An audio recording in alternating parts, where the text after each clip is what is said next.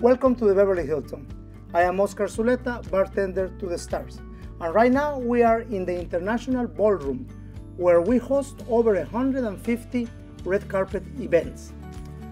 I'm here in the green room, where I usually serve the biggest celebrities in show business. Anybody who is ever anybody has passed to this green room, from producers, actors, writers. Typically, they come here to read at the teleprompter, to get hair and makeup done, or to have a little bite of a drink. And perhaps, since they don't see each other very often, they chit chat a little bit.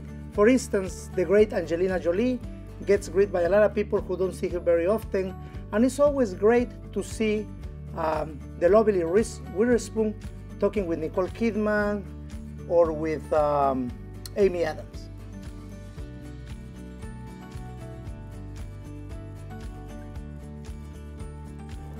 This is the lobby bar at the Beverly Hilton Hotel, where all the major stars come together after every red carpet show.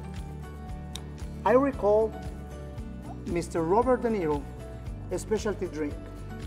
His martini has to stay at the same temperature whether he sips out of it or not. So we have to replace it every 20 minutes to keep him happy.